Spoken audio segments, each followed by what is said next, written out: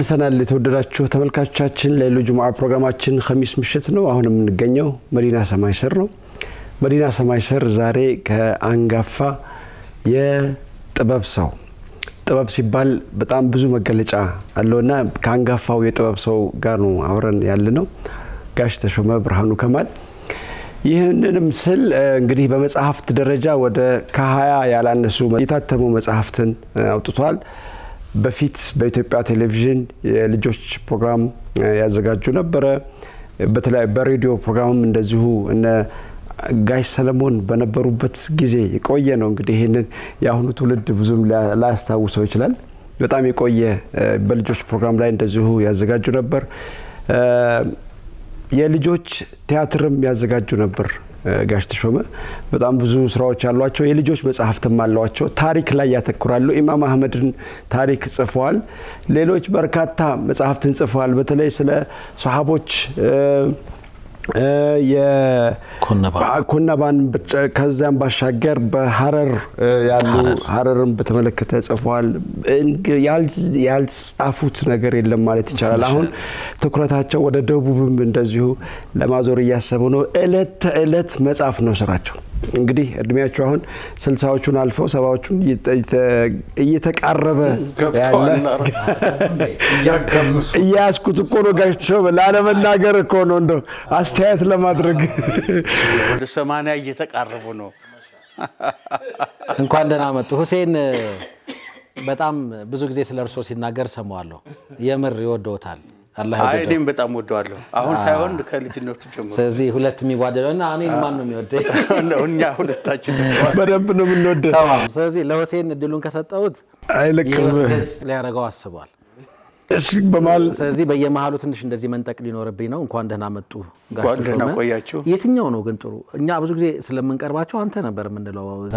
ያው ሚዲያ ስለሆነ አንቱ እያልን እናውራ እንጂ ለ- ያው በመሀል ግን ትፎርሻለህ። አይቀርም። so አይ ከመጀመሪያው ከመፈ- ከመጀመሪያው አንተ ማለቱ ነው የሚሻለው። ሁለት ምክንያቱም ሁለታችሁም ልጆቼ ናቸው። እዚህ ስቱዲዮ ያሉትም ልጆች በሙሉ ልጆቼ ናቸው። ልጆቼ ደግሞ አንተ ነው የሚሉኝ። በተለይ ደግሞ ጋዜጠኞች ስለሆናችሁ በጣም አላህ ክብርልን ጋሽ ተሼ፣ እንኳን ደህና መጣ። እንደተፈቀደልን ህዝቡ ሊያውቀው ይገባል። ተመልካቾች በእድሜም አንዳንድ ጊዜ በእድሜ ሰዎችን አንቱ እንላለን።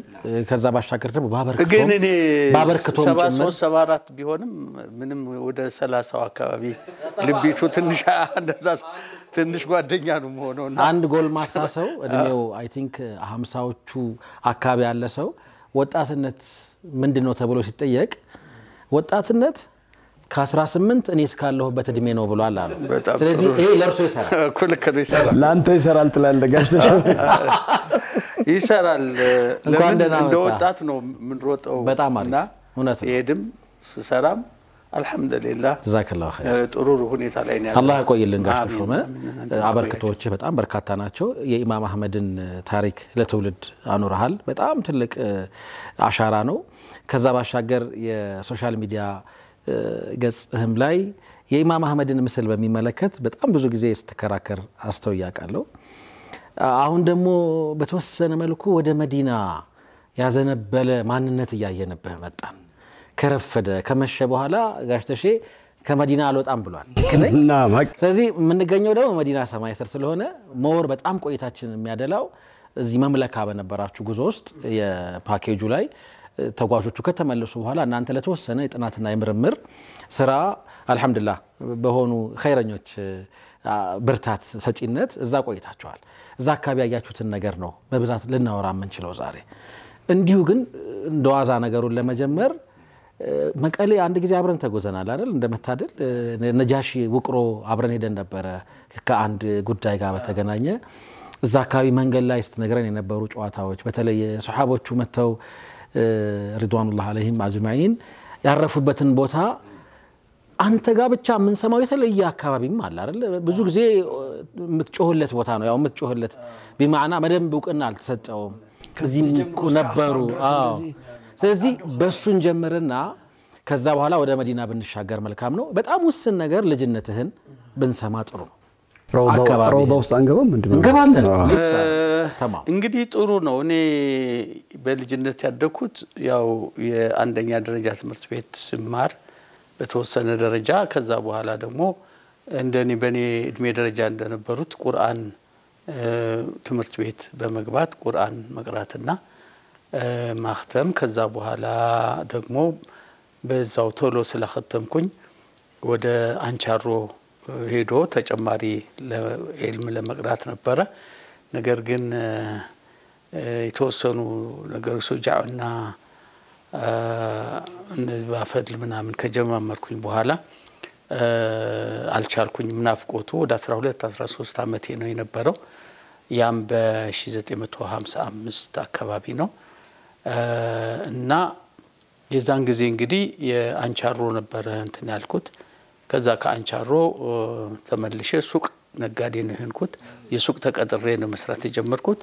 የሱቁ የሱቁ ባለቤት እንግዲህ እሳቸው ጋር እንድቀመጥ ያደረጉት ይሄ ልጅ ነው በዚህ እድሜ ኢልም መማር አንቻሮ መሄድ ያስቸግራል እና እኔ ጋር ሆኖ ኢልም ይቀራል ይሉኝ ነበረ። በእርግጥም አሊም ነበሩ ሰውየው የዳና ሰው ናቸው።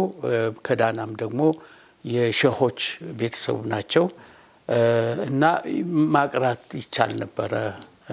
ነገር ግን በየሐሙሱ ከሚደረጉ ሰደቃዎች እና ሌሎች ጋር የተያዙ ሸሆች ጋራ የራያ ሸሆች ጋራ የሐሸንጌ ሸሆች ጋራ እየመጡ አንዳንድ ከሚናገሯቸው ነገሮች በስተቀረ በዚህ በዒልሙ አልገፋሁም። ኪታብ አልገለጡም። ስለዚህ በቃል የሚናገሯቸው ነገሮች ናቸው። በጣም ትልልቅ አሊሞች ናቸው። አሁን እነ ሼክ ሳዲቅ ምናምን እንደዚህ ትልልቅ ሰዎች ናቸው የሚመጡት እና ሐሙስ ሐሙስ ገበያ ስለነበረ የዛን ጊዜ ሙሉ እንትን እዛ የማሳለፍ ሁኔታ ነበር እና ከዛ በኋላ ትምህርት ቤት ነው የገባሁት። ትምህርት ቤት እስከ ስምንተኛ ክፍል ድረስ እዛ ሰቆጣ ተምሬ እስከ ሰባተኛ ክፍል ድረስ ከዛ አዲስ አበባ ነው የጨረስኩት። ሰቆጣ ላይ ግን ጋሽ ተሾመ እንደው ኸሚስ አሁን ቀን ቀን ገበያ ነው እንበል፣ ምሽትስ እንደው መስጂድ ውስጥ ያለ የተለየ ነገር አለ ወይ? በልጅነት ሁልጊዜ አሁን ምንድን ነው የሰቆጣ እንትን አለ አውራድ አለ ሁልጊዜ አውራዱ ከመቅሪብ ጀምሮ እስከ ዒሻ የሚቀጥል ነው። ጠዋት ደግሞ ፈጅር ላይ ደግሞ ከፈጅር ሶላት ጀምሮ ፀሐይ እስክትወጣ ድረስ አውራድ አለ። ያው የተለመደ የዚህ ምናልባት የቡርከይ አውራድ ሊሆን ይችላል። የቡርከይ አውራድ ነው እና የቡርከይ ደግሞ የዚህ አብዱልቃድር የአባድር የሼክ አባድር ሀረር አውራድ ነው እና እነዛ እየተባሉ እንትን ይላሉ። በተለይ አሁን እጅግ በጣም የሚገርም ነገር አሁን በዚህ ሳምንት የሐናን የሚባልበት ጊዜ ዘመን ሳምንት ነው። የሐናን ያመናን። ሰቢትና ለልኢማን አሚና ረቢ የአላህ ካቲም አልገይቢ ሻሃዳና እየተባለ ረመዳን ሲቃረብ ነው። ሲቃረብ ኦኬ አስራ አምስት ቀን ሲቀረው በየሁሉም ቤት እየተሄደ ገንዘብ ይሰበስባል። ለዚህ ለማምሻው የ- የሐናን ለእጣን ለመሳሰሉ ነገሮች መግዣ ነው ገንዘብ የሚዋጣ ነው። የዛን ጊዜ አስር ሳንቲም አምስት ሳንቲም ሀያ አምስት ሳንቲም ያለው ያዋጣል።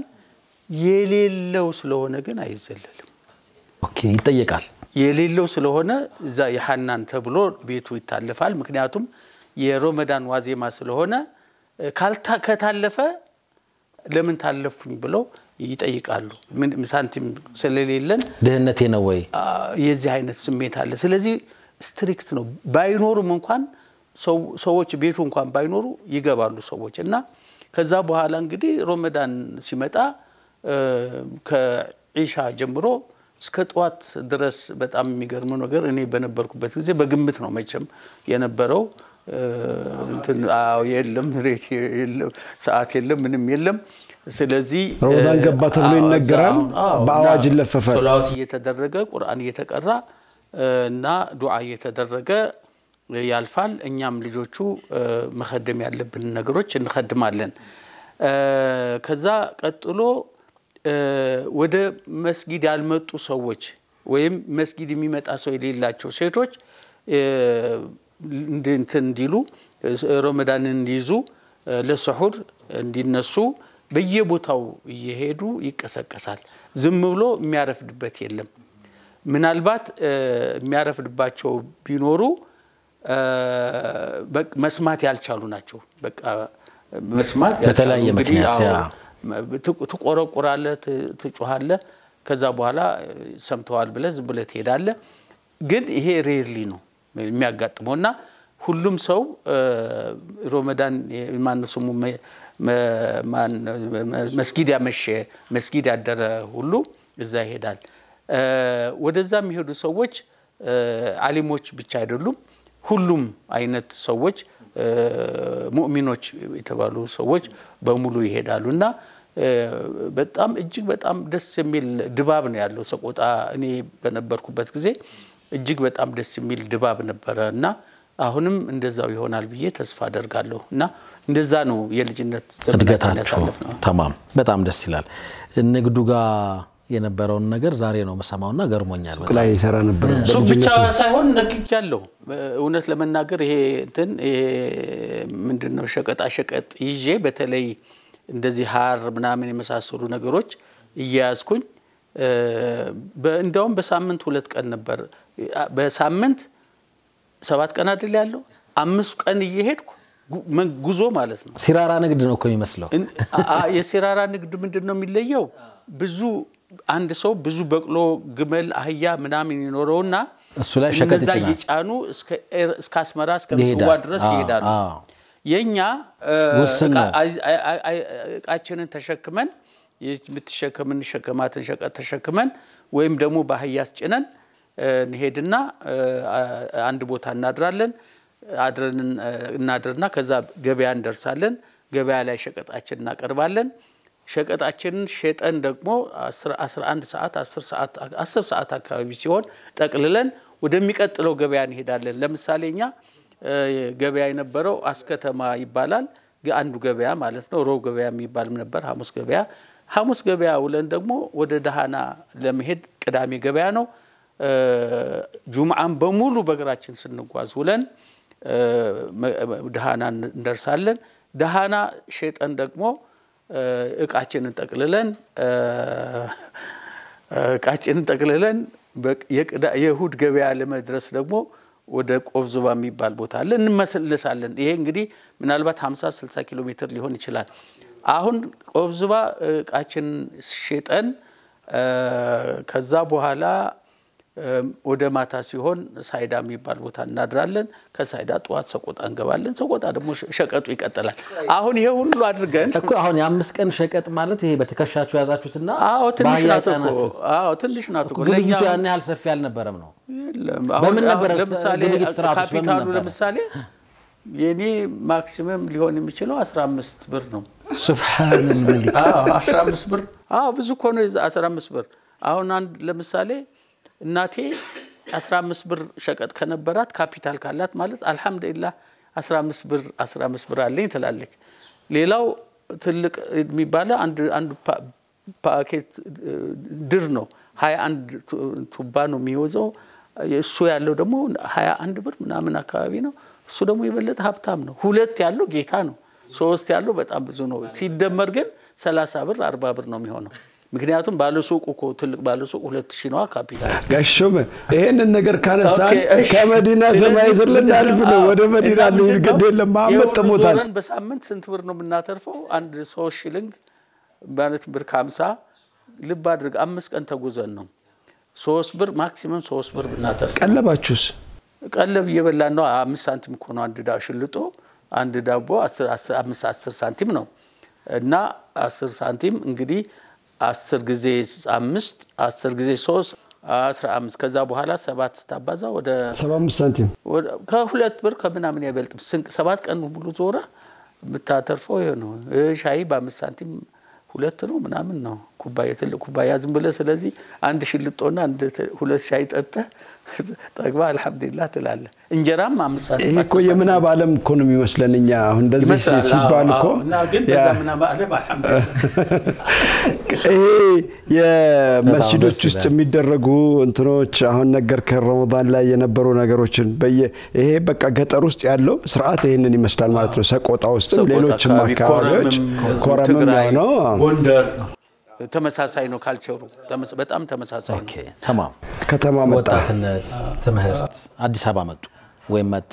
እንግዲህ ይህንን ነው ቅድም ስለ የነበረው እንዴት ነበረ የከተማ ህይወት? አዲስ አበባ የመጣሁት እ፣ በ18 በ19 ዓመቴ ነው እና የዛን ጊዜ ሰቆጣም እየነገርኩም ቢሆን አነብ ነበረ። ማንበቤ ብዙ ጠቅሞኛል፣ ጎድቶኛልም። በተለይ ጥራዝ ነጠቅ እንድሆን ከፍተኛ አስተዋጽኦን አድርጓል። በእምነት የነበረኝ አመለካከት ወደ መላላት አካባቢ ወስዶታል። ከዛ ቀጥሎ የምታነበው? የመጽሐፍ አይነት ነው ይህንን የፈጠረብህ። የሚያነበው መጽሐፍም ከዛ በኋላ አዎ የማነባቸው መጽሐፍቶች ትልልቅ ክላሲካል ታሪክ መጽሐፍቶች ናቸው። እነዚህ የምናብ ዓለም ናቸው። ብዙዎቹ ሰው የሩሲያ የፈጠራቸው ዓለም ናቸው። የሩሲያም የእንግሊዝም የምንም ስታያቸው በጣም ትልልቅ ናቸው። ውስጣቸው ሃይማኖት አላቸው። ግን ያም ቢሆን በክህደትም ላይ የተመሰረቱ ነበሮች። ከዛ በኋላ ኮሚኒዝም ነው የመጣው። ኮሚኒዝም ደግሞ ያው ጠራርጎ ይዞን ሄደ ወጣቱን በሙሉ እና እንግዲህ ወደ ዲኑ ለመመለስ ብዙ አመት ነው የጨረሰው ብዙ አመት እና አልሐምዱሊላህ ዋናው እንትን ነው አለመቅረት ነው። መመለስ እንደሸፈቱ አለመቅረት ነው። በመሸፈት በመሸፈቴ በጣም ብዙ ሰው ይከራከር፣ ብዙ ቤተሰብ ይከራከር ነበረ። ብዙ ሰው ይፈልግ ነበረ ወደ ዲኑ እንድመለስ። አልሐምዱሊላህ አልሐምዱሊላህ። ስለዚህ አዲስ አበባ የጋሽ ተሾመ ህይወት ከመጽሐፍት ጋር አሁን በዋናነት ማንበቤ ጎዳኝም ጠቀመኝም እያልከን ነበረ። ጎዳኝ ያልከው part ላይ ማንበብ እንዴት ነው የሚጎዳው እያልኩ እያሰብኩኝ ነበረ። ጥራዝ ነጠቅ ማለት በጥልቀት ያልተኬደ እዚህም ከዛ የሚቃረም ነገር የሰዎችን አስተሳሰብ ምን ያህል ሊጎዳ እንደሚችል ነው ልትነግረን የሞከርከው። በአፍላ ወጣትነት እድሜ ማርክሲዝም ሌኒዝም ሲመጣ እጅግ በጣም ይጎዳል፣ በጣም ይጎዳል። ለምን? በመጀመሪያ አላህን መካድ ነው ትልቁ principle ኡና ጠልቆ ጥልቀት የሌለው ጥልቀት የሌለው እውቀት ያለው ሰው በቀላሉ እጅ ይሰጣል። እጅ ይሰጣል። ከታች መሰረቱ ግን በደንብ ስላልተገነባ ነው ጋሽ ታች መሰረቱ ቢገነባ ራእይ እንትና ማነው ስሙ አንቻሮ ላይ ቃሉ ላይ የነበረኝ የቁርአን ጥልቀት ቢኖረው ኖሮ ብዙዎች እኮ ትደረምሳቸው ነበር ብዙ እኮ እዚህ አሊሞች የኮሚኒዝም ስርዓት እየታገሉም አልፈውታል፣ እየጣሉ አልፈውታል። እኛ ግን በጣም ትንሽ እውቀት የነበረን ሰዎች ተጠልፈን ልንወድቅ ችለናል እና ተጠልፈን መውደቃችንም አንዳንዶቹ ሳይመለሱ በዛው ወደ ሄደዋል። አንዳንዶቻችን ደግሞ አልሐምዱሊላህ መቼም ለመመለስ ችለናል። ቀላል አልሐምዱሊላህ በጣም ትልቅ እድል ነው። መርሐባ ፋታ ረፍቶተን ተመልሰን እንምጣና ቀሪ ነገሮችን ማየት እንቀጥላለን። የተወዳችሁ ተመልካቾቻችን ከአንጋፋው ደራሲ የጥበብ ሰው ሁለገብ ጋዜጠኝነትም ጋር በደንብ ሰፊ እጅ እንዳለው እናውቃለን። ከጋሽ ተሾመ ብርሃኑ ከማል ጋር ነው ቆይታ እያደረግን የምንገኘው። ተመልሰን እንመጣለን። አብራችሁን ቆዩ።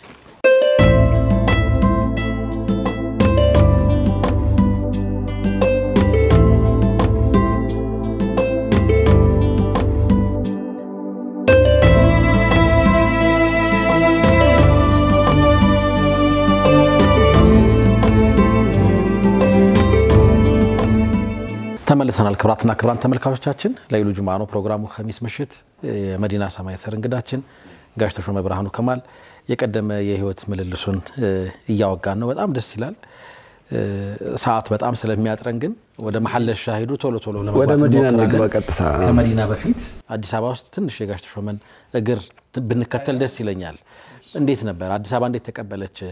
ነጋዴ ነበርክ። ከዛ በኋላ መጣ ወደ አዲስ አበባ። ንባቡ አለ፣ የመማር ፍላጎቱ ነበር፣ የኮሚኒዝም ርዕዮተ ዓለምም አለ። እዛ አካባቢ የነበረህን ትንሽ ነገር እንስማና እንደ አጋጣሚ ሆኖ እንደ አጋጣሚ ሆኖ ወደ አዲስ አበባ የመጣሁት ምንም ነገር ሳል ምንም ሰው አለኝ ብዬ አይደለም የመጣሁት ራሴ ዘመድም አልነበረም እዚህ? ያገኙ ቢኖሩም እነሱ ጋር ለመጠጋት አልመጣሁም። በራስ ነው የመጣኸው? በራሴ ነው የመጣሁት እና ነገር ግን የአጋጣሚ ነገር የተቀበሉኝ ሀረሪዎች ናቸው። ከኔ ጋር ስምንተኛ ክፍል የነበሩ ከዛ በኋላ ብዙ ታሪክ አለው። በዚህ በዚህ ህይወት ላይ ብዙ ነው ያሳለፍኩት። በጣም ብዙ ችግር ነው ያሳለፍኩት እና ነገር ግን አልሐምዱሊላህ አሁንም እነዚህ ሀረሪዎች የማያውቁ ሰዎች ሙስሊም መሆኔን በኋላ ቢያንስ ቢያንስ ሙስሊም እንደነበርኩ የሚያውቁ መሐመድ ኑር እንደነበርክ መሐመድ ኑር እንደነበርኩ የሚያውቁ ወጣቶች አገኘው። ከዛ በኋላ እነሱ ደግሞ አላራቁኝም። አሁን ብዙ ጊዜ ስለ ሀረር ዝም ብዬ የምንናገር ይመስላል፣ ግን እንዲህ በጣም ነፍስህ ቅርብ ናት ለሀረር በጣም ነው የሚያጋጥሙኝ ሰዎች የዛን ጊዜ አሁን በስልሳ ስልሳ ሁለት ስልሳ ሶስት መሰለኝ የዛሬ ስንት ዓመት መሆኑ ነው? ሀምሳዎቹ አካባቢ ሀምሳዎቹ አካባቢ ሀምሳ ሶስት ዓመት 53 አካባቢ ነው ማለት ነው። የዛን ጊዜ ልጅ ሆኜ ነው እነዚያ ልጆች ሀረሪዎቹ ተቀበሉኝ። ደብተርም ልብስም እንደገና ደግሞ ወደ ቤታቸው ወስደው እንትን አሉ። ከዛ በኋላም ደግሞ ከሀረሪዎች ጋር እየተገናኘን ነው የመጣ ነው እና አልሐምዱሊላ ግን ያም ሆኖ ወደ ዲኑ ለመመለስ በጣም ረዥም ጊዜ ወስዶብኛል። ምክንያቱም ከአንድ የተበላሸ ነገር ወደ ሌላ የተበላሸ ነገር እየሄደ ከአንዱ የተበላሸ ነገር ወደ ሌላ እየተገነባ ነው የመጣውና ማፍረስ okay። ያንን ለመመለስ almost ሰላሳ ዓመት ጨርሶብኛል እና ያም ቢሆን ግን ውስጤ ነበረ ዲኑ ነበረ። አሁን ለምሳሌ እድገት በህብረት በነበርኩበት ጊዜ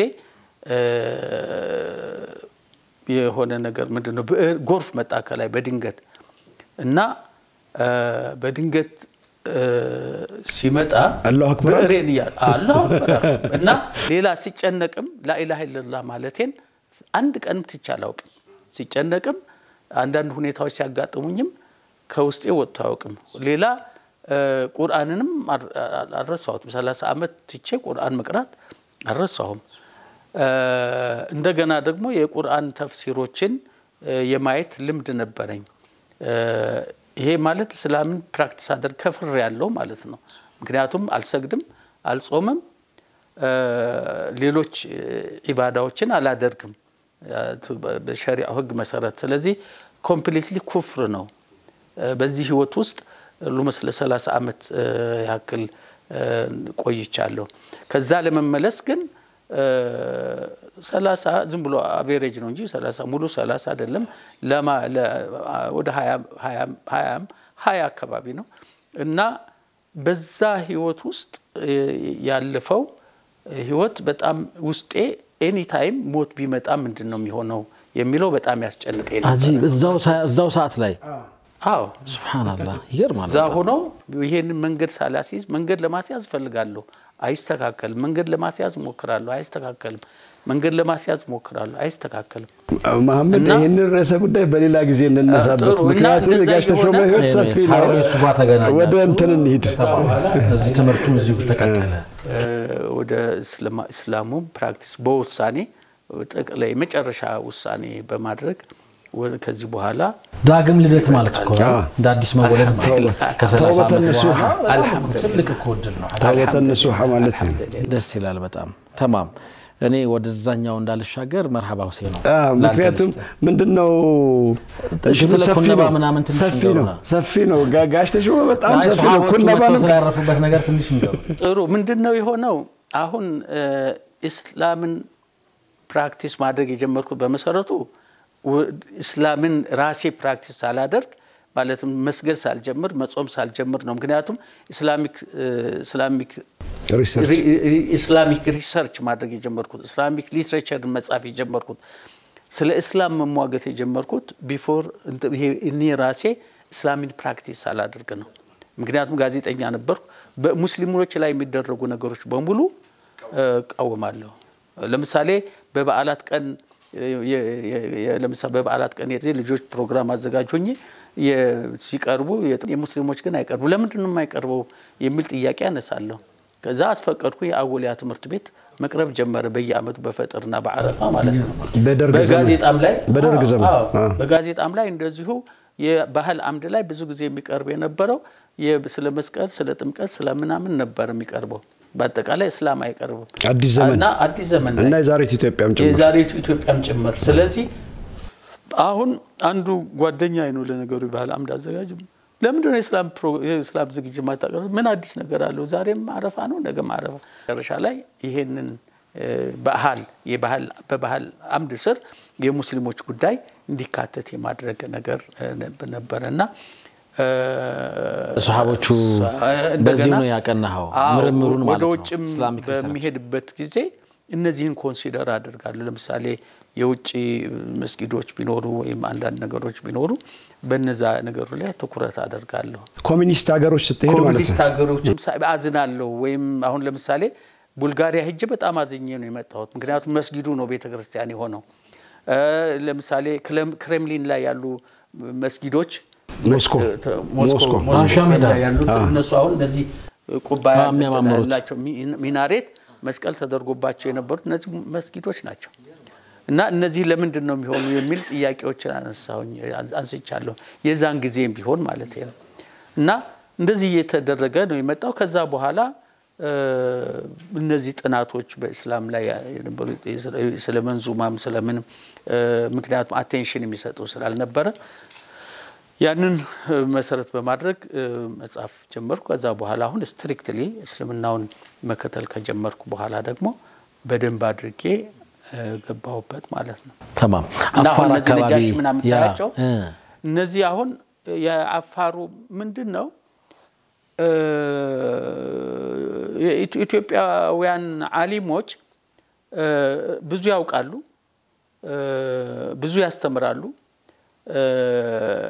ግን በዚህ በጠቅላላ ስሜታቸው በኢስላሙ ውስጥ ነው እንጂ በዚህ Islamic culture ኡም ቢሆን ከዚህ ከአረቡ ዓለም ጋር ነው እንጂ ራሳቸው የሚያያይዙት ከሀገሪቱ ጋር ብዙም አያያይዙ- አያያይዙትም። የአንተ ሙግት እሱ ነው እና ይሄ ነገር እንዴት ነው የሚሆነው ነው። እኔ ደግሞ ኢትዮጵያዊነትንም የኢትዮጵያ ነገርንም ብዙ አሉን ብዙ ከሌላው ዓለም የሌሉ Islamic heritage ኦች አሉን። ለምሳሌ አፋር ቅድም ያልኩት አፋር የምናየው አጽቢ ወንበርታ፣ ነጋሺ፣ ኤርትራም ውስጥ ወደ ሰንዓፈ፣ ወደ ከረን፣ ምጽዋ፣ እንበረሚ እና ከዛ እገላ እዚህ እ፣ ቀሳለጎ ወደዚህ ትግራይ አካባቢ እነዚህ እነዚሁ በጣም rich የሆኑ Islamic heritages አሉ። ወሎ ላይ አሉ በጣም በርካታ፣ ጎንደር ላይ በጣም በርካታ እንትኖች አሉ። ለምሳሌ መቀሌ ላይ ማንም ሰው ትኩረት ያልሰጠው ራሳቸው መቀሌን የ- የሰሩት ሙስሊሞች ሊሆኑ እንደሚችሉ ብዙ ማረጋገጫዎች አሉ። ምክንያቱም ከስምንት መቶ ዓመት በፊት ከዘጠኝ አሁን አጼ ዮሐንስ ናት ቆረቆራት የሚለው አይደለ? ከስምንት መቶ ዓመት በፊት ግን የሺዎች መቃብር መቀሌ አጠገብ አለ እዚህ እና እዛ አየር መንገዱ የነበረበት በሙ- በሙሉ እስከታች ድረስ የሙስሊሞች መቃብር የነበረ ነው። የአየር መንገዱ ብዙ የሙስሊሞች መቃብር የተጻፈባቸው ለዛውም ጽሁፎች ራስጌ ጽሁፍ ያለባቸው ቢሌት አሁን አንድ ሺህ ዓመት ድረስ እድሜ ያለው ነው። መቀሌ ግን ስንት ነው እድሜዋ የሚሉት እነሱ ሁለት መቶ ዓመት ሊሆን ነው። ስምንት መቶ ዓመት ቀድሞ ሙስሊሞች እዛ በጣም ትልቅ ከተማ እንደነበራቸው እንትን ይላል እና እነዚህን ነገሮች ኩነባ ላይ ነጃሺ ላይ ብቻ ሳይሆን ብዙ ጊዜ አሁን ነጃሺ እዛ መቃብር ነው ያለው። እንዴት ነው ያዛ ነጃሺ ቤተ መንግስቱ የሆነው የሚለው መታሰብ አለበት፣ መጠናት አለ። ይሄ ነቢያችን ሰለላሁ ዐለይሂ ወሰለም የሚወዷቸው የሚያፈቅሯቸው ነቢዩንም የሚወዱና የሚያፈቅሩ ንጉሥ የነበሩበት አገር እንደገና ደግሞ የመጀመሪያው ሰላተል ጋይብ የተሰገደበት አገር ፊቱ ወደ ኢትዮጵያ ዞሮ የተሰገደበት አገር እንዴት ነው ስሜት የማይሰጣቸው እያልኩ በጣም ነበር የማስበው። በኋላ ግን አላህ ደግሞ መንገዱ እየመራ እዛ ሲያስገባኝ እንግዲህ በኩነባ ተጀመረ። ከኩነባ ጀምሮ በኋላ አይን ኢትዮጵያ አሊሞች ታሪክ ተጻፈ። ከአይን ቀጥሎ የሀረር ኤሚሮች ተጻፈ። ከዛ እስላማዊ ስልጣኔ ተጻፈ እና ሌሎችም እየቀጠሉ በዚህ በኢትዮጵያን ሪፖርተር ደግሞ በጣም በመቶዎች የሚቆጠሩ article ኦች ደግሞ ስለ እስላም ኢስላም የሚመለከት ጽሁፎች ሊቀርቡ ችለዋል እና አልሐምዱሊላ አሁንም ቢሆን ይሄ ነው። ወደ መዲና ሰማይ ስር ልመልሳቸውን የራሴ መቼም እሱ አይመለስም። በመሰረቱ ወደ መዲና ለመሄድ የምፈልገው ድሮ ነው። ምክንያቱም እንትኑ መንዙማው አለ ተወዱኝ እንደሆኑ ወዱኝ መካ መዲና ውሰዱኝ እያልን ነው ያደግ ነው። ነገር ግን ያ ዘመን አልፎ ደግሞ ወደ ውጭ የመሄድ እድል ብዙዎች ብዙ አጋጥሞኛል። ወደ ጀርመን ሄጃለሁ፣ ወደ ህንድ ሄጃለሁ፣ ወደ ራሽያ ሄጃለሁ፣ ወደ ቡልጋሪያ ሄጃለሁ፣ ወደ ጀርመን ሄጃለሁ፣ በቅርቡ አሜሪካም ሄደዋል። አሜሪካና ካናዳ። ነገር ግን አንድ ወንድም ያለ ሐጂ ኑርዬ አህመድ ይባላል። ኧረ እባክህን ይለኛል። በመርከብም ላይ መሄድ ፈልጌ ነበር። ምክንያቱም የኢትዮጵያ shipping lines መርከብ እዛ ሰራተኛ ስለሆንኩ እዛ እንዲሄድ ሁሉ ጠይቄ ነበር። ነገር ግን አላህ ባለመፍቀዱ ምክንያት ለመሄድ አልቻልኩም። በመጨረሻ ሳላስበው እዚህ መዲና መጥታችሁ አንተና ፕሮፌሰር አህመድ ሁለት ወርና ሶስት ወር ቆይታችሁ ዒባዳ አድርጉ የሚል ግብዣ ቀረበልን። አሁን ፕሮፌሰር አህመድም የሀገር ሽምግልና ጉዳይ ስለነበረው እኔ ደግሞ የእሱ ካልተሳካለት እንግዲህ ምን አደርጋለሁ ብዬ ወደ አሜሪካ ስለሄድኩኝ የመጀመሪያው ዑምራ ባጭሩ ሄጄ አይቼ መጣሁ። አይቻልም ለተወሰነ ጊዜ ብቻ አይቼ በቃ ሰግዶ የመመለስ ያክል መዲና እዛም ጠዋፍ አድርጎ የመጨረስ ነገር አደረግና ተመለስን። ነገር ግን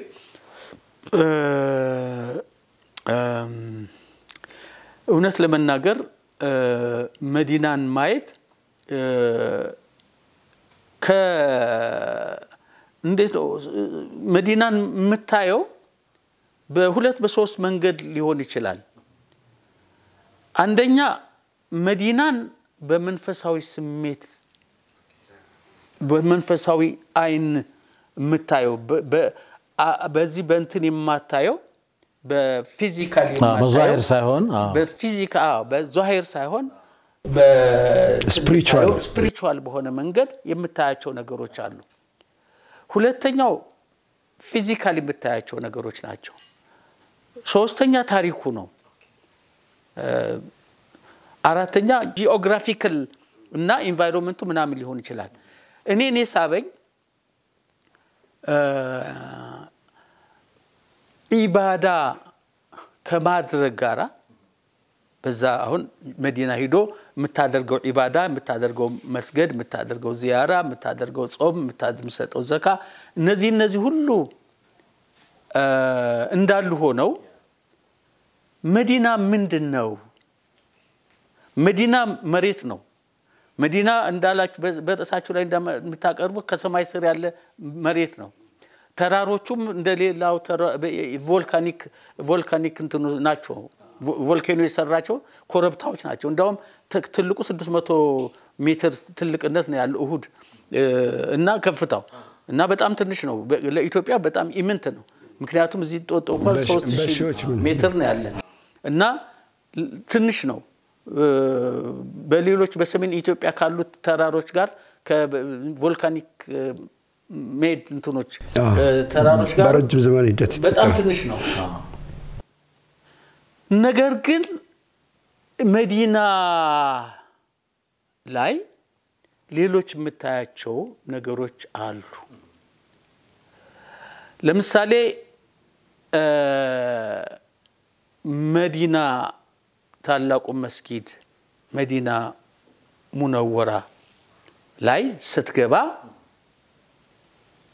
እጅግ በጣም ብዙ ነገሮችን ታገኛለህ። በመጀመሪያ ነገር ነቢያችን ሰለላሁ ዐለይሂ ወሰለም የነበሩበት ቦታ ነው። በዛ ቦታ ላይ ሀያ ስድስት አያዎች ወርደዋል። ምን ማለት ነው? ነቢያችን ሰለላሁ ዐለይሂ ወሰለም ከሰይድ ጅብሪል ጋራ ቢያንስ ቢያንስ ቢያንስ ቢያንስ minimum ነው ይሄ። በሌሎች ቦታዎችም እየተከሰቱ የመከሯቸው ነገሮች አሉ። ቢያንስ ቢያንስ ግን ሀያ ስድስት ጊዜ ወርደው ቁርአንን አውርደውላቸዋል። ቁርአን recite እንዲያደርጉ አድርገዋቸዋል። ይሄንን ነው የምታየው። አሁን ለምሳሌ ባብል ጅብሪል ገባው ስትል ምንድን ነው ጅብሪል እኮ ሲመጣ የሚገባበት ይሄ ነገር እንደ ሙስሊም ከ spiritual አንጻር ስታየው የተለየ ስሜት በጣም የተለየ ስሜት ነው የሚሰጠው። አሁን እዛ የነቢያችን ሰለላ ወሰለም ቀብር ላይ ታለቅሳለ። የምታለቅሰው ግን immediate ከሳቸው contact ፈጥረ ነው። ዝም ብለህ አይደለም እንባው የሚመጣው ይወርዳል። ምልህ እንባ እጅግ በጣም ትንፈቀፈቃል። ምክንያቱም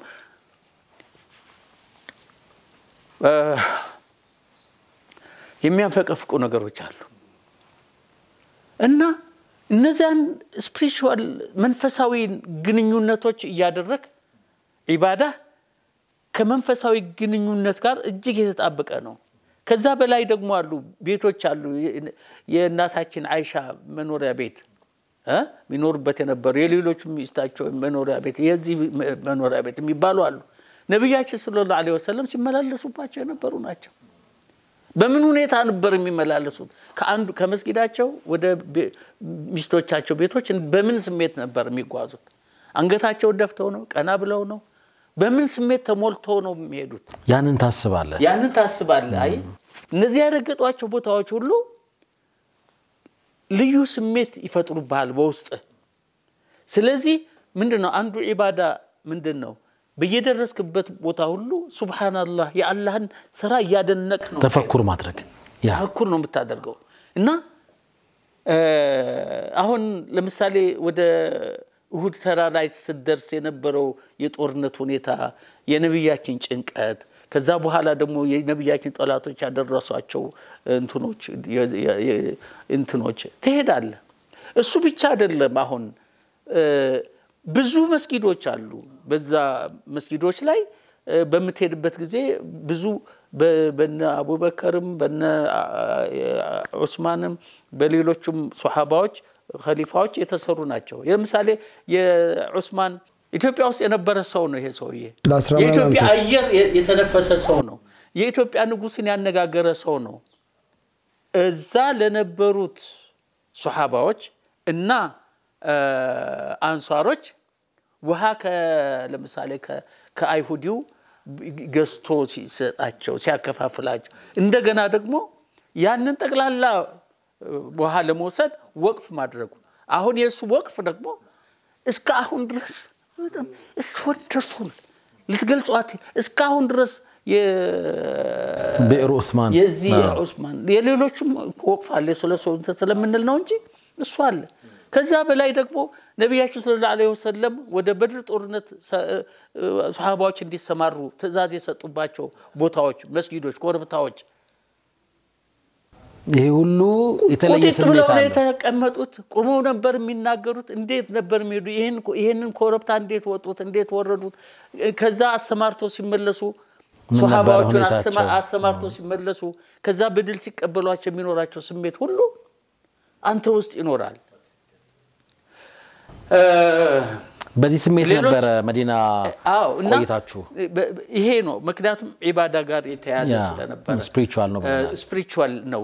በ spiritual ይሄ መንፈሳዊ ስሜቱ ላይ ተጭነህ እ፣ አሁን የተምሮቹን ዛፎች ትመለከታለህ፣ መስጊዶቹን ታያቸዋለህ፣ የውሃ ጉድጓዶቹን ትመለከታቸዋለህ፣ የጦርነት ቦታዎቹን ታያቸዋለህ፣ የተለያዩ መስጊዶችን ትመለከታለህ እና በተመለከት ቁጥር ታሪኩን ባነበብ ቁጥር ደግሞ ውስጥህ ልዩ ስሜት እየተሰማው እየተገነባ ደስታ ከፍተኛ እየሆነ ይሄዳል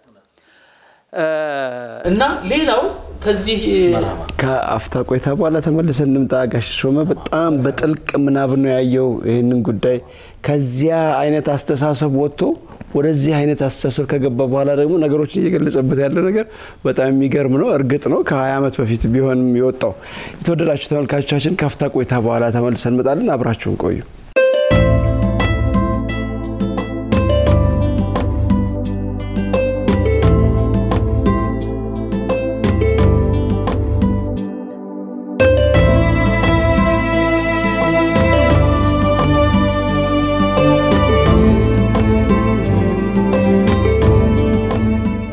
ተመልሰናል። ክቡራትና ክቡራን ተመልካቾቻችን ኸሚስ ምሽት ፕሮግራማችን እንደቀጠለ ነው። መዲና ሰማይ ስር ላይ የጋሽ ተሾመን የጉዞ ማስታወሻ በጣም ደስ በሚል አተራረክ እና ፍሰት ማቋረጥ ሁሉ አቃተን። ተማም ረውዳ ውስጥ ስለነበረው ነገር መስማት መልክተኛው ዐለይሂ ወሰላም ስንዘይር ይሰሙናል። ጠባን ምላሽ የሚልካሉ እናውቃለን እናምናለንም ጭምር እዛ አካባቢ አሁን በገለጽክበት መንገድ ከሆነ የምታወራን በጣም የሚያጓጓ ነገር እንደሚኖር እርግጠኛ ነኝ። ማለት ዝም ብሎ ግንብ አይቶ መመለስ ብቻ አይደለም። የሆነ የተለየ شعور ነበረ፣ የተለየ ስሜት እንደነበረ መዲናን በሁለት አይነት አገላለጽ። አንደኛው መሬት ነው፣ በቃ እንደሌላው ሌላም ቦታ እንዳለ መሬት መልካ።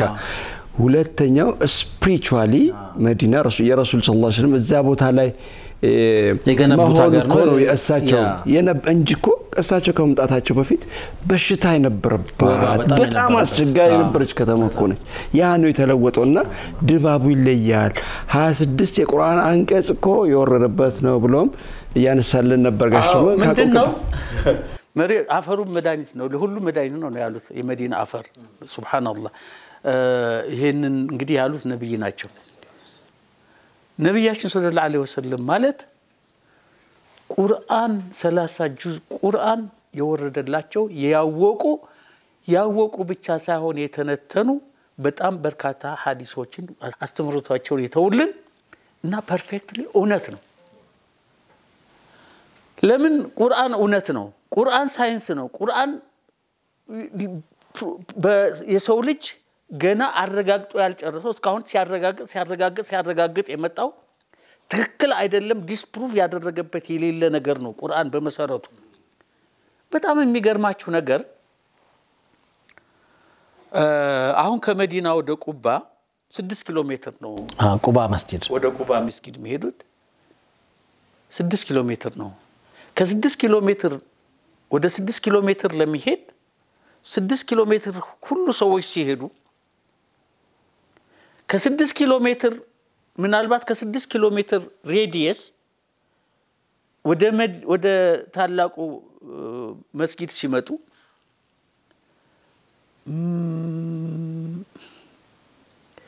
እንዴት መግለጽ እንደሚቻል አላውቅም። ሕፃን፣ ሽማግሌ፣ ወጣት፣ ሴት፣ ወንድ አካሉ የሞላ አካሉ የጎደለ ፍጹም በሆነ የአርምሞ ስሜት ነው የሚሄደው። አንድም ወጣት ሴት፣ አንድም ወጣት ወንድ፣ አንድም ሕፃን አላህ ምስክሬ ነው ሲቅበጠበጥ አላየሁም። ወደ መስጊድ የሚሄዱት ከመላው ዓለም የመጡ ሙስሊሞች ናቸው። እነዛ ሙስሊሞች ሁሉ ከየቤታቸው ወጥተው ወደ መስጊድ ሲገቡ በጸጥታ ነው። ስክነቱን ነው አንድም ረብሻ፣ አንድም ሁከት፣ አንድም ጩኸት ፈጽሞ ፈጽሞ ፈጽሞ አይሰማም። በሚሊዮን የሚቆጠሩ ሰዎች በሚሊዮን ተውና በግማሽ ግማሽ ሚሊዮን የሚቆጠር ሰው በዛ መስጊድ ውስጥ አለ ብሎ ማሰብ ፈጽሞ ፈጽሞ ፈጽሞ አይቻልም። ጸጥ ያለ ያ ሁሉ ሰው ወደ መስጊዱ ሲገባ መቼም በሮች በሮች ጠባብ ናቸው። ቢበዛ ቢበዛ አምስት ሰው ቢያሳልፉ ነው ቢበዛ ቢበዛ። ነገር ግን ሁለት መቶ ሺህ ሶስት መቶ ሺህ ሰው በዛ ሲያልፍ እኔ አላህ ምስክሬ ነው አንዱ ሌላውን ገፍቶ ሲወድቅ አላየሁም። አንዱ ሌላውን ገፍቶ ሲያሳምመው አላየሁኝም። አንዱ ሌላውን ሳይገፋ የሚያልፍበት ምናልባትም የሚያሳልፍበት ነው። ጥቅጥቅ ባለው የሰው ብዛት ሰው እንደዚህ ሲያልፍ ወይም እንደዚህ ሲያልፍ አንዱ ሌላውን አይጎዳም። እንደዚህ አይነት ሊገለጽ የማይችል ነገር ስትታዘበው ስትመለከተው የአላህ ስራ አንዱ ዒባዳ የአላህን ስራ ማድነቅ አይደለም። የአላህ ስራ እጅግ በጣም ረቂቅ መሆኑን ትመለከታለህ። አያውቀኝም። እኔ ከኢትዮጵያ ነው የሄድኩት። ሌላው ከናይጄሪያ ነው፣ ከአልጄሪያ ነው፣ ከሞሮኮ ነው፣ ከቪየትናም ነው፣ ከቻይና ነው፣ ከኢንዶኔዥያ ነው፣ ከጃካርታ ነው፣ ከእንግሊዝ ሀገር ነው፣ ከጀርመን ሀገር ነው። ነገር ግን በአንድ ቋንቋ በአንድ መሪ ይሰግዳል። ሱብሃነላህ አላሁ አክበር ሲል አላሁ አክበር ብሎ ወደ ላይ እጁን ያወጣል፣ ወደ ታች ይወርዳል፣ ይጎነበሳል፣ ይነሳል። እጅግ በጣም ይሄንን ስታስበው ምን አይነት ዓለም አቀፋዊነቱን ነው አሁን ዓለም አቀፋዊ ሁሉም የተለያየ ቋንቋ የሚናገር ቢሆንም የሚግባባው ግን በአንድ ትዕዛዝ ይህ እንዴት ይቻላል? ሰማያዊ ዲዛይን ባይሆን ሰው ይሄንን ዲዛይን ማድረግ እንዴት አድርጎ እንዴት አድርጎ ጸጥ ይላል? እዚህ መቶ ሰው ሁለት መቶ ሰው አንድ ሺህ ሰው ሲሄድ እንዴት ነው የሚሆነው? ሰርግ ላይ እንበል አንድ ሺህ ሰው እንኳን አይሞላም። አምስት መቶ ስድስት መቶ ሰው ሲኖር እንዴት ነው አንዱን ተማም ይሄ በጣም የሚገርም ትዝብት ነው። የዚህ የመዲና ነገር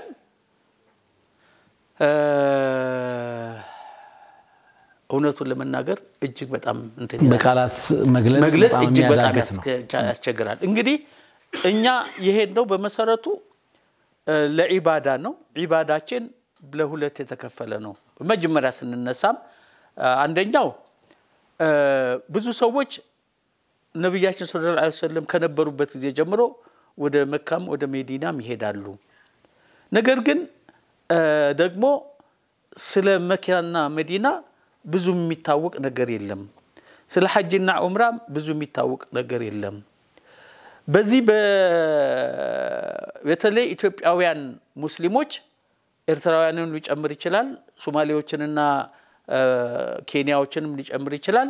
በአንድ የታሪክ ወቅት በአንድ የነበሩ ህዝቦች ስለሆኑ እነዛን ህዝቦች እነዛ ሰዎች በርካታ ሰዎች በመዲናና በመካ የህይወት ዘመናቸውን አሳልፈዋል። እንዲያውም ሁለቱን ታላላቅ መስጊዶች የሚጠብቋቸው ኢትዮጵያውያኖች አዋት እነዛ ሰዎች እነማን ናቸው? እንዴት ተመረጡ?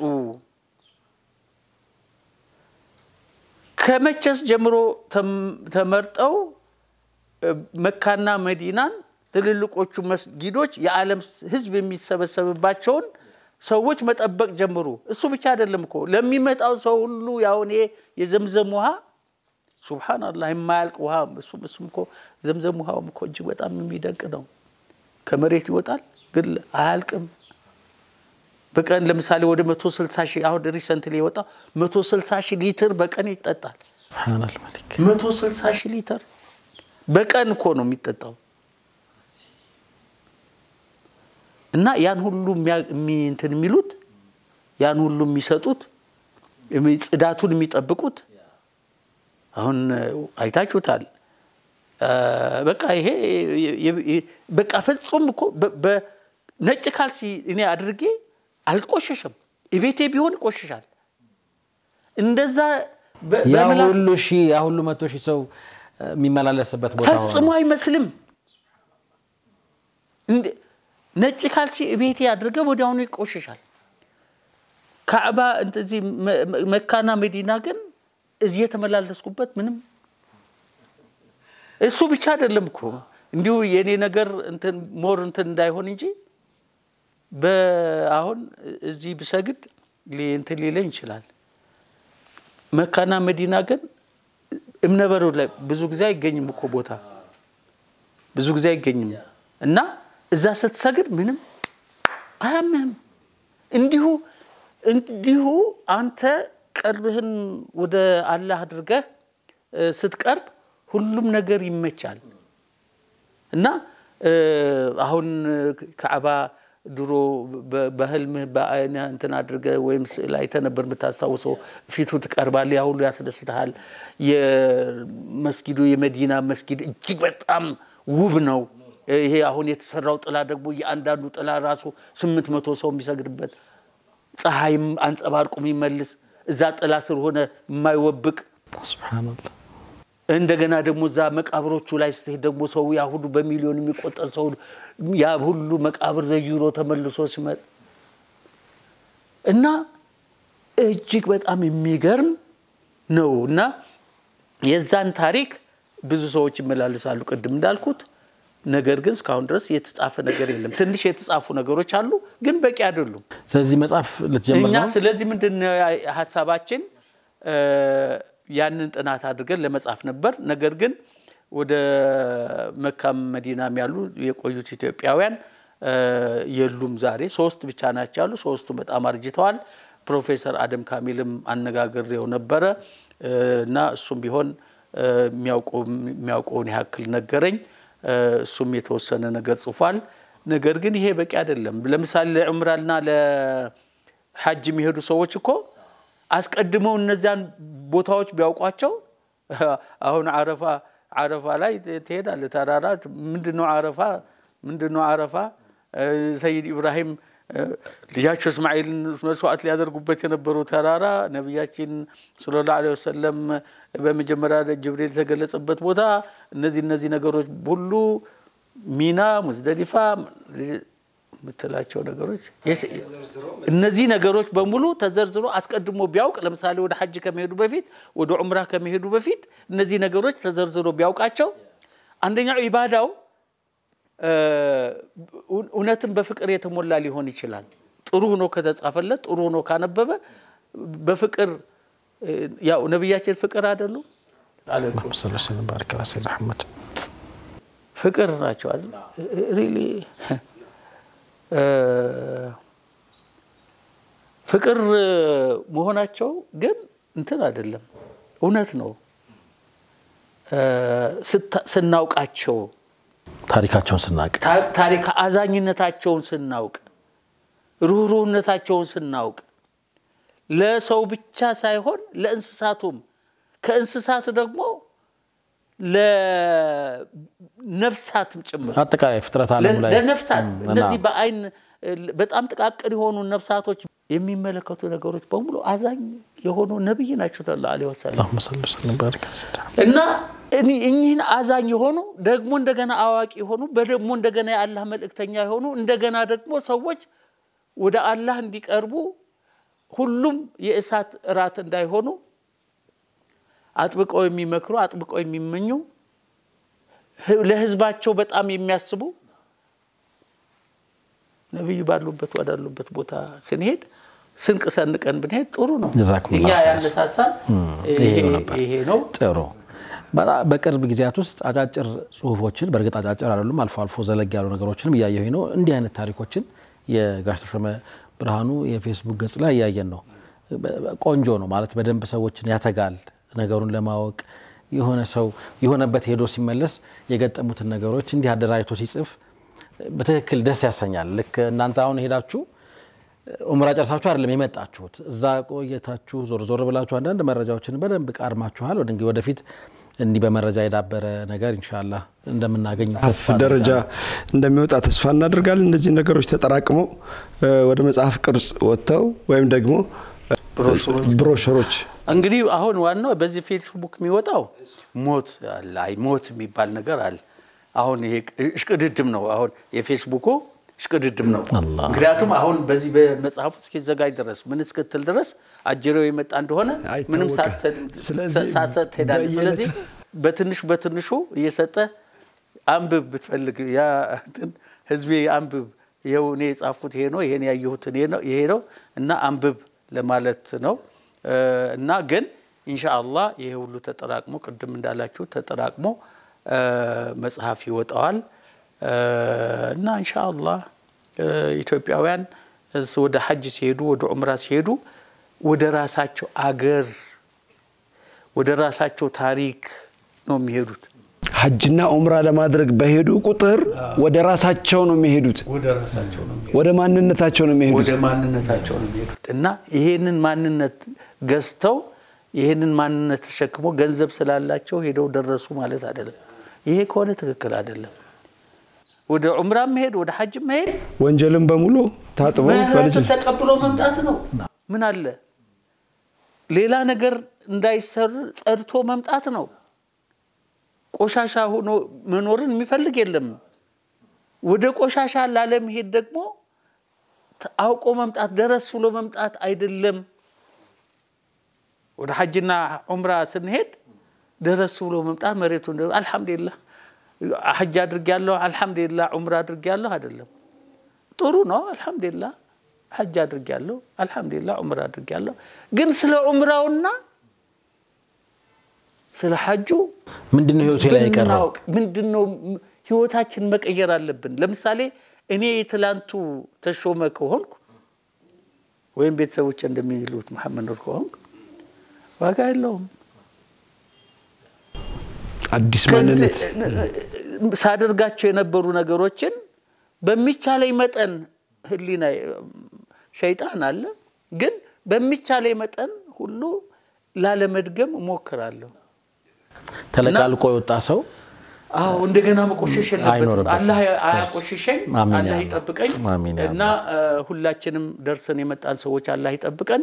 እና ሐጅና ዑምራ ማድረግ ማለት ልዩ ልዩ እጅግ በጣም ልዩ ትርጉም ያለው መሆኑን አውቆ መሄድ አምኖበት መሄድ ገንዘብ ስላለው ብቻ ሳይሆን መሄድ ሳይሆን ያ መሄድ አለብኝ ብሎ አሁን ሐጅ ምንድን ነው እንደገና እንደመወለድ ልክ- ነው ልክ ነው ይህንን ያሉ ነቢያችን ናቸው። ነቢያችን ይሳሳታሉ። ሰለላሁ ዐለይሂ ወሰለም እውነት ናቸው ነቢያችን እውነት ናቸው። ቁርአኑ እውነት ነው። አላህ እውነት ነው። እውነትና እውነት ደግሞ አይጋጭም። አምኖ መሄድ ነው። ጀዛኩሙላሁ ኸይር። ለዚህ የሚረዳ ድርሳን ነው አሁን አዘጋጃለሁ ኢንሻአላህ እየተባለ ያለው። እንውጣ እኔ ስለ ረውዳ ብንሰማ ደስ ይለኝ ነበረ።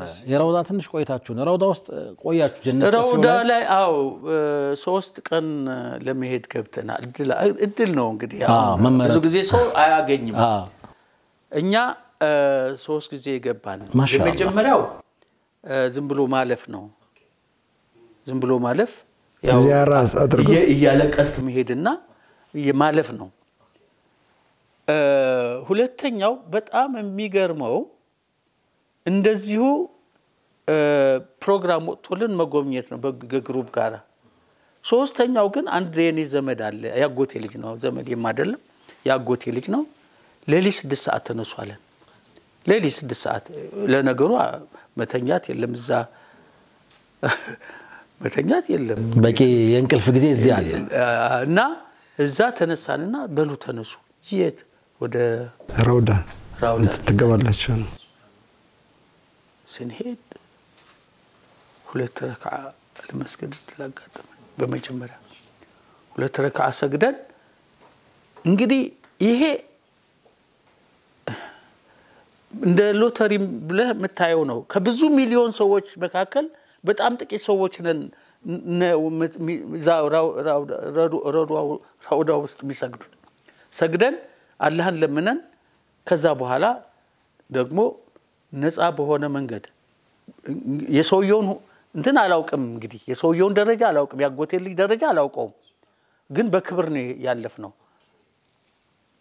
በክብር ነው ያለፍ ነው። እንትኖችም እሱም አሰላሙ አሌይኩም አሰላሙ አሌይኩም አብሽሩ አብሽሩ እያላቸው ፖሊሶቹን ነው ያለፍ ነው። ነቢያችን ሰለላሁ ዐለይሂ ወሰለም ሁልጊዜ እንዳይረሱን፣ ምክንያቱም እዚያ ቦታ ላይ የመጣ ሰው እኔን በሩሄ እንዳነጋገረኝ ነው የሚቆጠረው ስላሉ ይሄም ደግሞ እውነት መሆኑን ስለምንቀበል አልሐምዱሊላህ ነቢያችን አነጋግረን ለነቢያችን ነግረን ነቢያችን ደግሞ እንግዲህ የ- የእርሳቸው እ፣ ሸፋ እንዲሆኑ ለምነን እንደሰሙን አረጋግጠን። ምክንያቱም ይሰማሃለሁ ብለውኛል። እኔ ይሰማሃለሁ ስላሉኝ በእንትናቸው ሰምተውኛል ብዬ ነው አረጋግጬ የመጣ አልሐምዱሊላህ። ከዱዓ በፊት ጋሽ ተሾመ ምን እየሰራህ ነው አሁን የሚለውን እናንሳና? እና እግረ መንገድ ደግሞ የምታመሰግናቸውም ሰዎች አይጠፉም በዚህ ጉዞ ሂደት ውስጥ? ምንድን ነው ወደዚህ ቦታ ስንሄድ በመጀመሪያ ነገር የማን ነው የዚህ የፕሮፌሰር አህመድ ዘከሪያ ወንድም ሐጂ ኢብራሂም ዘከሪያ ነበረ ትልቅ ፍላጎት የነበረው ወደ አሜሪካ ከመሄዳችን በፊት እንደዚህ። ከዛ በኋላ ደግሞ ይሄ ጥያቄ እንደገና አነሳው እሱ። አሁን እሱ አንድ ግለሰብ ነው እንዲሁ የካምፓኒም ሰራተኛ ነው እንጂ በቂ አይደለም። እና ምንድን ነው እኔ ማስታወቂያ ሳይ በዚህ በንትን እ፣ አዱኛ ሙጨንም ሁሴን ከድርንም እንዳው እንዳው እንደዚህ ሰው ገብዞናል ለሀያ ቀን ግን ይሄ ነገር እንዲያው እንትን ብናደርግ እኮ ለኢትዮጵያ ህብረተሰብ የሚጠቅም ጥናት አድርገን ልንመጣ እንችላለን እና እንዴት ነው አልኩኝ። የኔ አስቀድሞ ተገኘ፣ የፕሮፌሰር አህመድ ደግሞ ቀጥሎ ተገኘ እና አልሐምዱሊላህ ሁለታችንም ሰዎች ባደረጉልን አስር ቀን በ group ሄድን። አስር ቀን ደግሞ በዚህ በማነው ስሙ በሐጂ ኢብራሂም ዘከሪያ አማካይነት ሸፈኖልን እንትን አድርገን መጣን። እነዚህ ሰዎች ሁሉም ሰዎች የምናውቃቸውም የማናውቃቸውም አዱኛ ሙጬ፣ ሁሴን ከድር አላህ ንያቸውን ይሙላላቸው። አላህ ሙሉ የሚፈልጉትን ሙሉ ነገር ያድርግላቸው እና እውነት አላህ ሰምቶ ይሰማናል ብለን እናስባለን። እዛ በነበርንበት ጊዜ ብዙ ሰዎች ዱዓ አድርጉልን ያሉ ሰዎች አሉ። እኛ አላህ እንዲሞላላቸው እኛ አቅም የለንም፣ ምንም ማድረግ የምንችል ሰዎች አይደለንም። ነገር ግን አላህ ደግሞ እንዲያደርግላቸው በየደረስንበት ሁሉ ለምንናል። አላህ ዱዓችን ይቀበለን። አላህ ዱዓቸውን ይቀበላቸው። አላህ ንያቸውን ይፈጽምላቸው። ይህን ነው ለማድረግ የሞከርነው። ሊንክና ኦስካር ትራቭል ሊንክና ኦስካር ትራቭል ናቸው ይህን ያሳኩት። የእኛ እጅ የለበትም። አላህ ሀያታችሁን ያርዝመው። እድሜ አመሻሽ ላይ እንዲህ አይነት فرصة እንዲህ አይነት እድል ማግኘት በጣም ትልቅ መታደል ነው። በጣም ትልቅ መታደል ነው። ዛሬ በጣም ትንሹም ነገር ቤት ነው የሚያውለው፣ አልጋ ላይ ያውላል እና ሄዶ ሮጥ ብሎ ደርሶ ዘይሮ መመለስ የሚቻልበት condition ላይ ሆኖ እንደ ማራቶን ነው የሮጥኩት።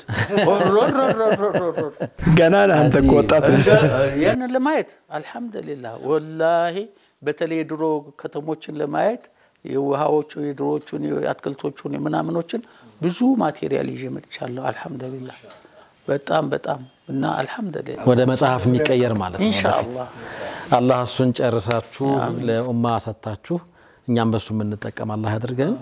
በዚሁ ዱዓ አድርገህልን ጋሼ እንወጣለን። አንድ ቪዲዮ እያየሁ የነበረ የሆነ ቦታ ተሰብስባችሁ የሚገርም ዱዓ እየሰማሁ የነበረ እንግዲህ አላህ ይቀበላችሁ እና በጣም ደስ ብሎኛል። እንደሱ አይነት ዱዓ ያንን ዱዓ እንፈልጋለን። اللهم ربنا اتنا في الدنيا حسنه آمين وفي يا الاخره الله. حسنه وقنا عذاب النار آمين يا اللهم طهر قلوبنا اللهم طهر قلوبنا اللهم استر عيوبنا. اللهم أمر عورتنا. آمين. اللهم ارحم موتانا. آمين. اللهم اشف مرضانا. آمين يا رب. ربي اغفر المؤمنين والمؤمنات آمين. والمسلمين والمسلمات. آمين. الأحياء منهم والأموات. آمين يا الله أنت السميع القريب مجيب الدعوات. آمين. يا الله. آمين. يا ربي. يا جليل. يا الله. نياتنا اللهم لالن براسو منجد بقرصو منجد باستكاكلو منجد የኔ ነው ባለ መንገድ አላህ ይምራን። አላህ ይምራን። እኛ ሁልጊዜ እንሳሳታለንና ወደ ቀኙ መንገድ ወደ ትክክለኛው መንገድ አላህ ይምራን። አሚን። ንያችንን አላህ ይሙላልን። ሁልጊዜ ኡማውን ማገልገል ሆኖ አላማችን ኡማውን ስናገለግል ደግሞ በሀቅ የምናገለግል በሀቅ የምንሰራ ያድርገን። ያ አላህ ያ ረቢ። ስንጽፍም ስንናገርም አላህ እውነትን የምንናገር እውነትን የምንመሰክር እውነትን ለህዝብ የምንሰጥ አላህ ያድርገን። አሚን በምንሰራቸው ስራዎች ሁሉ የአላህ በረከት እንዲጨምርባቸው አላህ ራሱ ይርዳን። አላህ ራሱ ይጨምርልን። ልቦናችንን በጣም ያስፋው። ደረታችንን አላህ ያስፋው። ልቦናችንን በየቀኑ ይጠብልን፣ በየሰዓቱ ይጠብልን፣ በየደቂቃው ይጠብልን፣ በየሰኮንዱ ይጠብ- ይጠብልን። ንያችንን አላህ ይሙላው። ላ ሰይድና አሕመድ ወዓላ አሊሂ ወሰለም። ክቡራትና ክቡራን ተመልካቾቻችን መዲና ሰማይ ስር ላይ መልከ ብዙ ከሆነው ጋሽ የተሾመ ከማል ጋር ያደረግነው እንግዲህ ሰዓት ገድቦን የወጣንበት ቆይታ እስካሁኑ ነበር የሚመስለው። እያንዳንዱ ገጽ ብዙ የሚተነተን ነገር ነበረው፣ ሸርሕ ነበረው። ግን ያው መሮጥ ነበረብን ከሰዓት ጋር። ኢንሻአላህ በቀጣይ በሌሎች ፕሮግራሞች ቀሪ ነገሮች ኖረው ለመጽሐፉም ተቃርቦ ሀሳቡን ይዞ እንደሚመጣ አላሁ ስብሐነ ወተዓላ በፈቃዱ ደግሞ ኡምራውንም ሐጁንም እየደጋገመ እንደሚጀድደውም ተስፋ እናደርጋለን። ሁላችንም ለአንጋፋዎቻችን በያሉበት አላህ እንዲጠብቃቸው ዱዓ እናድርግ። ለሀገር ሰላም ዱዓ እናድርግ። መጪው ረመዳን ነው፣ ይቅር እንባባል። ንጹህ በሆነ ልብ አላህ ይህንን ታላቅና የተቀደሰ ወቅት እንዲያጎናጽፈን እንለምነው። ሁሌም እንደምንለው ቀሪ ሌሊታችሁ በሰለዋት በእስትግፋር በኢባዳ እንደዚሁም በዱዓ የደመቀ እንዲሆን እንመኛለን። ጀዛኩም ላሁ ኸይር። ወሰላሙ አለይኩም ወረሕመቱላሂ ተዓላ ወበረካቱ። ሹክረን ለክ ጋሽ የተሾመ